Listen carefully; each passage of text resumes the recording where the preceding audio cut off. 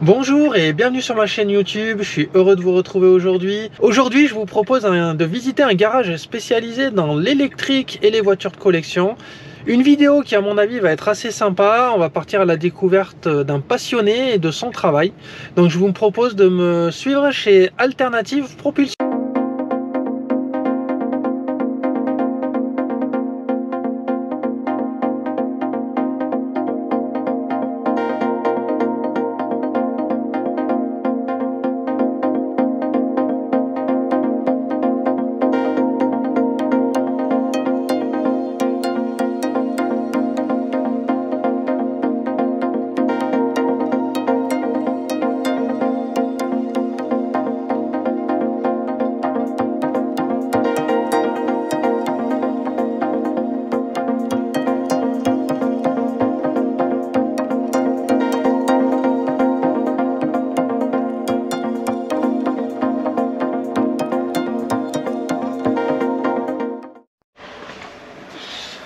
Là, juste celle-là déjà, on peut repartir avec ou pas On va contre un bon chèque, oui.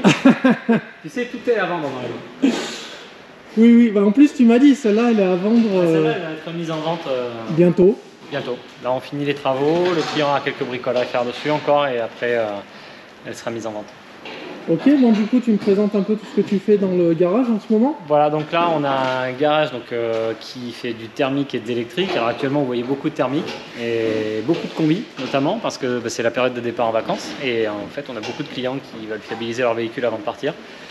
Tous les combis là c'est des, véhicules qui sont en restauration ou pour des entretiens mécaniques. Comment celui-là là Voilà celui-là. C'est en plein de travail justement. Voilà, celui-là on travaille dessus après on fait euh, de la remise en route, de l'entretien ou de la restauration. Porsche, c'est la même chose. La route que vous voyez là, elle a une restauration complète. là, on part de, zéro. On fait la carrosserie, la sellerie, euh, le moteur, la boîte, enfin, on fait absolument tout. Euh, et après, sur l'élec, on a les produits qu'on propose, donc Green Drive pour Tesla, on fait des pneumatiques, les géométries aussi, on a la station de géométrie, là je vous montrerai un peu tout à l'heure. Euh, et euh, la conversion des deux chevaux, donc celle qui est derrière, elle va être convertie euh, dans les prochaines semaines. C'était le véhicule de démonstration qu'on a montré déjà au, 4, au 4 balles de salon de véhicules électriques et qui sera rétrofité bientôt. Alors tu me disais par contre les conversions de deux chevaux, c'est pas un truc qu'ils font à l'arrache. Hein, ah non, la conversion de deux chevaux c'est hyper encadré. c'est le seul kit qui est homologué en France euh, pour une conversion thermique en électrique. On est très peu, on est quatre actuellement à avoir l'agrément euh, pour euh, installer ce kit-là. en fait, on suit un protocole qui a été validé auprès de l'UTAC. On doit piquer toutes les étapes à la lettre. On est audité sur cette activité, donc c'est vraiment quelque chose de très encadré. Et à la fin, le client part avec un véhicule, avec une carte grise véhicule électrique.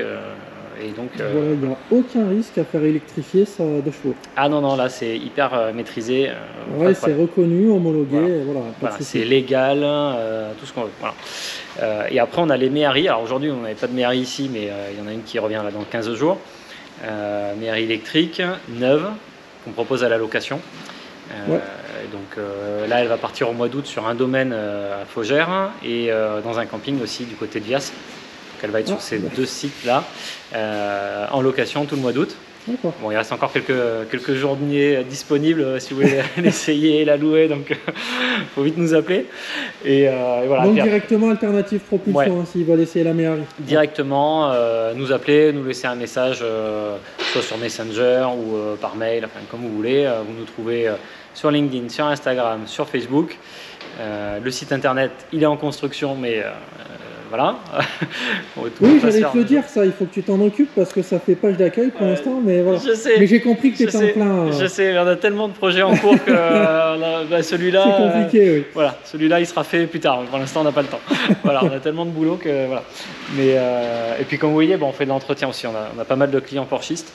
c'est un, milieu dans lequel moi personnellement je suis très impliqué, donc j'ai beaucoup de pas mal de clients Porsche qui viennent, euh, que ce soit des anciennes, des récentes, on, fait de tout. Mais du coup, tu me disais, celle-là, c'est une restauration complète de la Porsche. Ah bah celle-ci, euh, restauration. ah, celle-ci, elle a une restauration intégrale. Euh, comme je te disais, carrosserie, sellerie et niveau moteur également, moteur mode de vitesse. Ouais, d'ailleurs, on voyait le moteur, il est, Bah, le moteur, le il est là-bas, il est. Là, on est en train de l'ouvrir Voilà. euh, et il est sur l'établi et voilà, là on est en train de finir de l'ouvrir. Après on va faire la métrologie et renvoyer les pièces qui doivent être usinées en usinage et réassembler le moteur après. Voilà. Donc alors par contre, euh, amenez pas votre R21, donc euh, c'est garage euh, électrique et voiture passion. Tiens, t'as vraiment sais, trouvé le bon terme tout à l'heure. La R21 Turbo Ah ben de voilà, collection. Et euh, voilà, il suffit que je dise ça, voilà. La Mais non, mais moi R21. j'aime pas les R21. Autant les Porsche et les Ferrari et tout ça. Non, en fait, nous on, on, focu- on focus sur les véhicules passion. Oui, voilà, c'est Voilà. ça, je voulais en arriver là. Et la personne qui est passionnée par sa Twingo, elle vient, et ben on l'aide.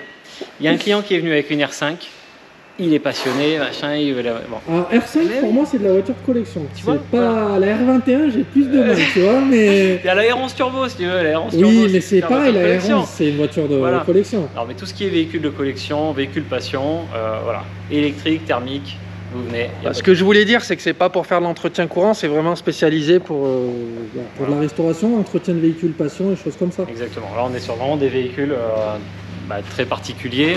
euh, qui sont souvent des véhicules secondaires. hein. Euh, nos clients, les véhicules qu'ils nous envoient, c'est pas leurs véhicules de tous les jours, Oui, à part les Tesla. Oui. Voilà. Mais sinon, tous les autres, c'est pas des, des véhicules qui sont utilisés tous les jours, c'est des véhicules pour le week-end, pour les vacances, véhicules plaisir. Ou, voilà. Donc, il ne faut pas hésiter à venir nous voir. D'ailleurs, la en prochaine fois que tu as une Ferrari, n'hésite pas à m'appeler pour que je vienne la tester, pour te valider la fin de La ton tester travail. Je la testerai avec plaisir. Euh, Peut-être en passager, mais pas au volant. Ah, mais en passager si tu veux. Eh, mais je suis jamais monté dans une Ferrari, franchement, ce serait un kiff. Bah écoute, Ah, si tu veux, je monte en passager, oui, y a pas de problème. euh, on, on s'organise. Mais du coup, oui, tu as, des clients qui te lâchent des Ferrari aussi à restaurer, à réparer. Ouais, client en, en entretien, en... après sur du pneumatique, on s'est équipé, bah, je vais te montrer, hein, Ouais, euh, bah machine pour les pneumatiques, donc euh, jusqu'à 22 pouces. Alors j'ai pris euh, volontairement jusqu'à 22 pouces parce que bah, déjà les Tesla on est arrivé à 21, Oui. donc euh, j'ai pris un peu plus. Là on fait les pneumatiques, on fait l'équilibrage et la station de géométrie. Euh, donc là c'est un peu le bazar, mais Oui, mais bon, c'est en activité. c'est ça, exactement. Donc là, on a une station de géométrie qui nous permet de travailler euh, au sol ou roue pendante. Donc c'est un matos vraiment euh, dernier cri, Mais connecté. tu équilibres la roue directement, tu Non, montes là, après ça, c'est pour régler les trains roulants. D'accord. Là, on fait du réglage de train roulant. euh, et en fait, on, on communique directement avec le client. C'est-à-dire que la voiture, elle n'est pas, encore arrivée au sol quand on envoie directement le rapport au client. Euh, moi, ah oui, choisi, c'est pour euh, ça qu'il y a un... Il y a la tablette. C'est Et, connecté en fait. C'est connecté. T'as un et, routeur Wi-Fi, ouais. Voilà, et on a, on a toutes les informations sur la tablette. fou, donc, euh, c'est vraiment du matériel euh, Italien. italien top niveau. non, ça c'est vraiment, c'est vraiment Oui, excellent. Matériel italien, donc c'est du bon matos. Un petit parti pris là, je sens. Voilà, c'est du, du super matériel.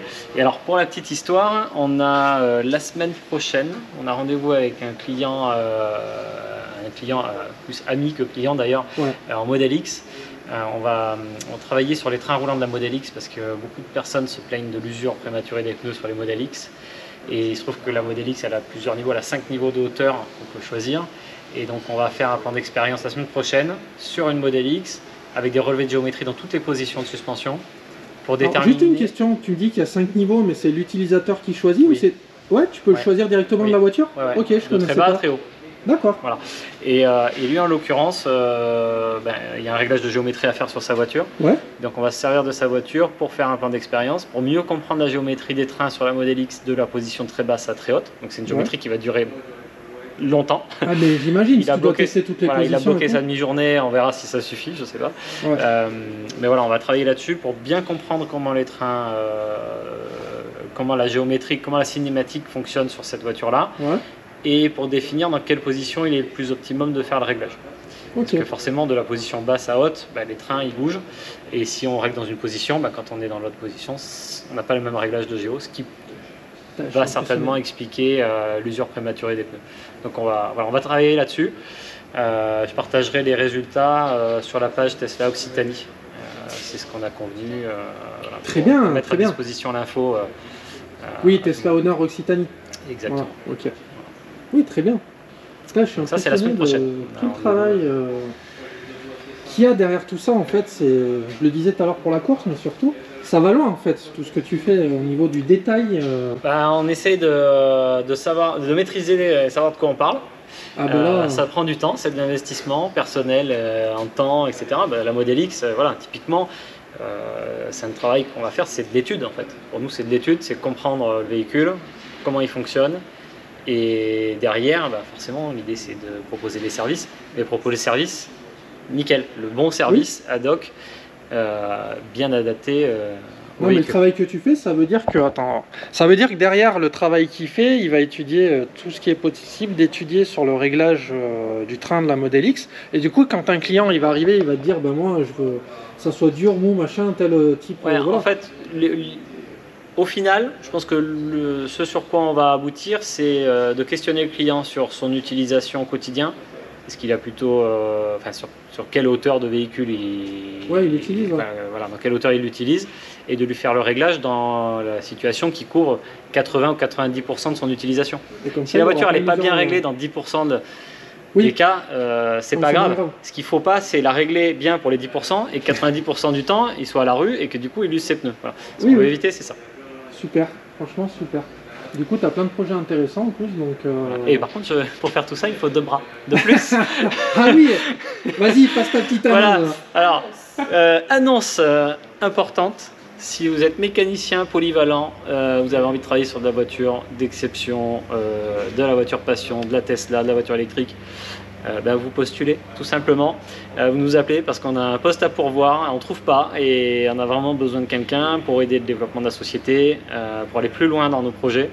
Donc on a besoin d'une personne et, et donc faut pas hésiter. Voilà, postulez. Alors oui, parce que vous avez bien compris que vous n'allez pas être juste garagiste de base ici, c'est vraiment un atelier de passionnés et visionnaires. Parce que vous allez autant euh, prendre la main sur les véhicules qui arrivent électriques que vous faire plaisir sur des véhicules thermiques d'exception. Donc euh, franchement, euh, si vous êtes mécano et que vous cherchez un travail et que vous êtes motivé, polyvalent, Voilà, faut venir à. Béziers. Venez nous voir. euh, bougeant sur est, Bougeant sur euh, bancs, exactement, ouais, juste à côté de Béziers. Voilà, ok, bah super. Bah, en tout cas, c'est un beau petit garage. Ouais, super. T'en penses quoi? Ah, super. Moi, je veux que tu ailles filmer le, le tableau de bord de la, de la, de la cox rouge, te plaît. Ah bon, tu veux voir le tableau de bord de la Cox Rouge jure, Pourquoi il est super beau. Ah, bon, on va aller voir le tableau de bord de la Cox Rouge. Et l'intérieur, tu l'avais déjà- l'intérieur de la... Tu l'avais déjà pris, l'intérieur de la deux chevaux? Non, j'ai, euh, oui, l'avais- Tu l'avais pris euh, au cap, non? oui, je l'avais pris au salon D'accord. handicap. Bah attends, on va remettre. un- Oui, bah. Oui, mais après, alors du coup, l'intérieur, il va forcément le, le modifier parce qu'il va mettre le. Voilà. Non, mais Et regarde, donc, tu me regarde comme c'est beau. déjà. Oh, j'adore euh, la petite déco avec les petites fleurs et la petite valise. Ça, et regarde le tableau de bord, c'est pas beau ça Rouge et chrome là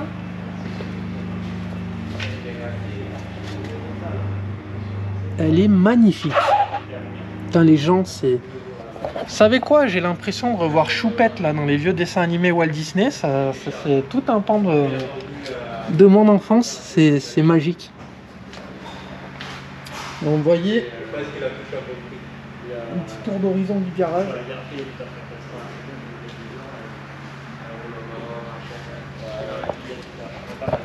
Ah, franchement, c'est vraiment cool. Moi, j'adore parler à des passionnés comme ça qui kiffent ce qu'ils font et qui font vraiment un travail d'exception. C'est vraiment super à chaque fois. Mon doudou Ouais. Elle est à vendre la Porsche. Non. Moi, je suis pas, je suis pas thermique, mais celle-là, je veux bien. Elle est pas chère en plus. Ah, elle est magnifique. J'adore les, j'adore les jantes, euh, les jantes Porsche. Et elle est vraiment super. hein.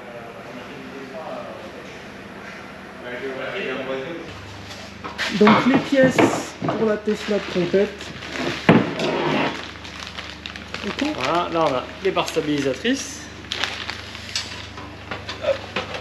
Donc ça, tu vas monter ça où?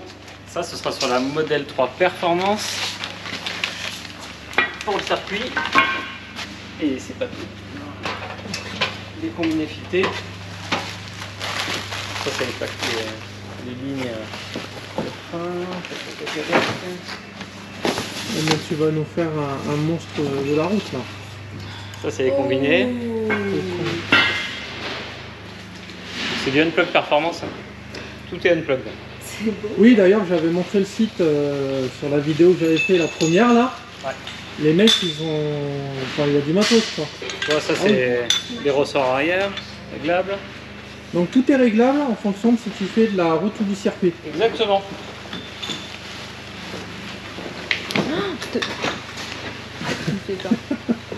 Ne stresse pas, il a l'habitude.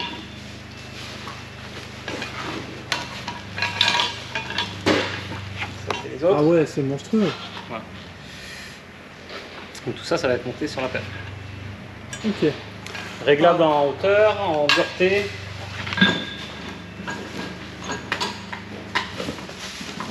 Donc ça, on montera bientôt. Donc tout ça a monté sur la perf et du coup, Attends, ouais, je peux, je si- peux pas, je peux pas faire.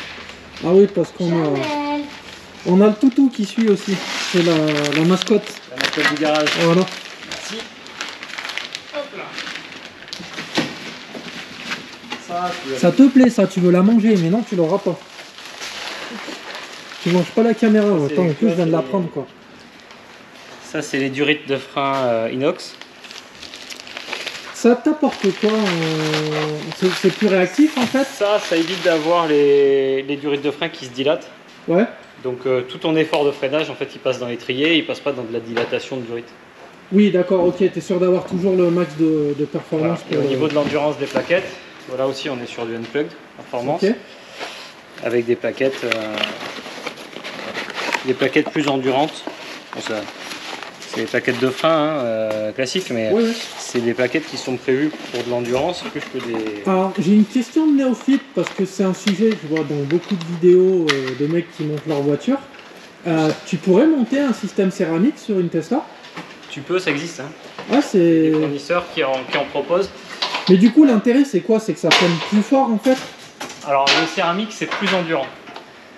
Si tu fais de la course d'endurance, tu mets des freins céramiques. Ouais. Euh, donc tu as un, frein qui- un freinage qui va être plus constant, plus endurant euh, sur, la, sur la durée, contrairement à du freinage acier. euh. Ouais. Mais de toute façon, avec la Tesla, la, la manière dont on va l'utiliser, là on est parti sur une course de régularité qu'on va faire au mois d'octobre. Ouais. Il y a de toute façon des temps de recharge.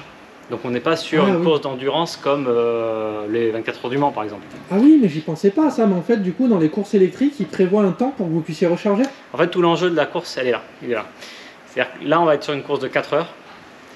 Pendant 4 heures, il va falloir gérer notre temps autour, puisqu'on va homologuer un temps pendant les essais. Ce temps, on doit le reproduire pendant 4 heures, en tenant compte des arrêts de recharge. Ah ouais, c'est chaud quand même. Donc c'est endurance et performance à la C'est fois. ça, Et à l'arrivée, c'est qui? C'est celui qui fait le plus de kilomètres avec les meilleurs perfs qui gagne c'est ça. C'est celui qui finit le plus près du temps qu'il avait homologué qui gagne.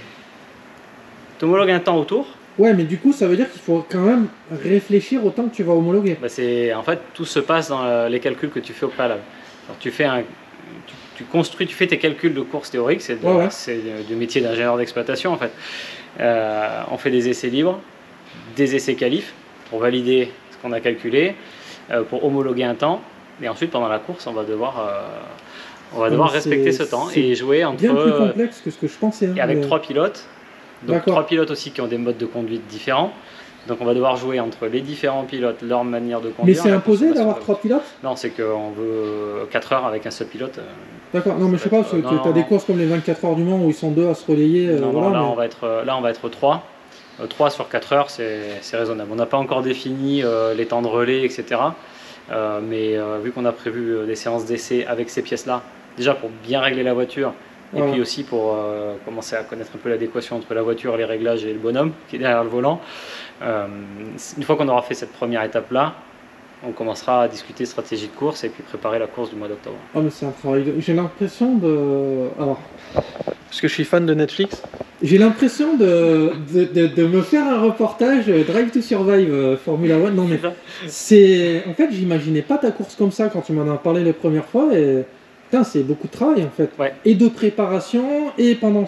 Et de bien définir ton tour, et pendant la course, de bien respecter. Donc, tu as un travail de En fait, un gros vérification. On va avoir un ingénieur d'exploitation qui sera dans les stands en permanence pour regarder les données de la voiture, pour regarder obligé, les temps euh, et recalculer en temps réel pour qu'on adapte et qu'on finisse la course, parce qu'il faut la finir, hein, faut pas tomber en. Ben oui, oui, bien de sûr. sèche, Non, mais hein. oui. Euh, Ah, mais et on aura des bornes de charge 22 kW, donc c'est pas non plus euh, la folie. Non, c'est pas violent. Donc euh, voilà, faut, anticiper ça. Bon alors pardon, juste pour euh, parce qu'on a une borne euh, 22 kW au travail de Camille, euh, 22 kW pour charger la voiture, grosso modo c'est 4h30 quoi. Si je veux faire un plein. C'est ça. Donc toi en endurance, il va falloir bien gérer tes temps d'arrêt, tes recharges Voilà, quoi. surtout que sur le circuit, on est entre 3 et 4 fois la conso euh, Oui en plus. quand on en stick. Quoi, hein. Après, on peut rouler aussi euh, Ah plus ouais, cool, non. mais on est à 3 à 4 fois la conso. euh, Question bête, c'est n'importe quelle marque de voiture ou ouais, réservé c'est complètement ouvert. D'accord. C'est complètement ouvert euh, au monde de l'électrique, mais c'est complètement ouvert. Ça s'appelle l'Electric Festival en fait, l'événement. D'accord. Euh, ça se tient à Charade euh, le week-end du 11 ou 12 euh, octobre. D'accord. Ah, ça serait intéressant, allez voir ça. Donc là, on a beaucoup de travail de préparation parce qu'on a toutes les pièces à monter. Ouais, donc tu m'avais montré aussi, tiens, en parlant des pièces, parce qu'on l'a pas vu à la caméra, mais donc tu as des jantes faites sur mesure, Ouais, qui sont magnifiques d'ailleurs. super Leggera en 19 pouces, fabriqués en partenariat avec Green Drive. Ah, ça c'est Green Drive qui te les fournit? Oui, Ah, Oui, super oui. ça. tout à fait. Donc, en fait, on a une voiture qui sera équipée euh, Green Drive et Unplug Performance Super. Ok, et super. préparée par Alternative Propulsion pour Du tout coup, ce c'est eux qui te fournissent les ailerons et tout aussi? Green Drive Oui, toutes les pièces que tu as vues en expo, Ouais, ouais, tout non, ça ouais. c'est euh, notre showroom euh, Green Drive. Ouais. D'accord. Bah, du coup, euh, tu veux prendre du carbone? Non, toujours, toujours- toujours pas. J'aime beaucoup sur la voiture de Sylvain, mais. Euh, oui. J'ai des bombes de peinture. Camille, elle est anti-carbone. Je peux te faire des, des ailerons en carbone euh, peints en gris. si Ah tu bah voilà. Comme ça, c'est du carbone, mais ça se voit pas. Du coup, Le je vois, je vois moins bien le couleur. principe. Ouais, ouais, ouais. Non, non, mais c'est chouette. Après, c'est chouette. Puis, euh, non, mais sur ces voitures, là, on parle de voitures de course, quoi. On Ah, parle là, pas de, de ma petite. Non, euh, parce que j'explique alors, parce que oui, on était un petit peu hors cam, il nous a fait faire le tour du garage. Mais l'intérêt, bon après c'est des jantes sur mesure, elles sont magnifiques, l'intérêt c'est qu'elles sont plus légères. Oui. Donc c'est moins de conso, plus de perf, euh, C'est voilà. Moins de masse suspendue. Euh, et donc euh, là-dessus, par contre, je suis en 19 pouces. Bon, C'est un choix que j'ai fait. Les pneus que je vais mettre, c'est des semi-slick, des pilotes Sport Cup, euh, avec le même développé que mes jantes en 20 pouces d'origine. Ouais. Donc au niveau euh, voilà, développé, ce sera la même chose. Euh, par contre, des pneus en 19 qui sont un peu plus faciles à trouver et, euh, et avec ces jantes-là, euh, ça devrait donner en plus un look un peu sympa. Ah, franchement, elles, est- ouais, elles sont magnifiques. À mon avis, monter sur la, la Tesla blanche, là, ça Non, va envoyer. Ah ouais, non, Couleur sont trop, je sais pas. Elle est bien. C'est ni noir ni gris, c'est excellent. J'espère que cette vidéo vous a plu, j'ai été ravi de la faire, on est vraiment tombé sur un garage de passionnés, j'adore discuter avec ce, ce- ce genre de, de personnes, c'est vraiment toujours enrichissant. Si la vidéo vous a plu, n'hésitez pas à liker, partager, à vous abonner, à cliquer sur la petite cloche pour être tenu informé des prochaines vidéos. Moi j'ai été ravi euh, de vous retrouver pour cette vidéo avec Camille encore une fois. Fais coucou Camille. coucou. Ah. Et je crois que là c'est le crois que là, il est temps de terminer la vidéo parce qu'il y a quelqu'un qui n'a pas envie qu'on continue. Donc, je vous fais des bisous et je vous dis à très bientôt. Ciao, ciao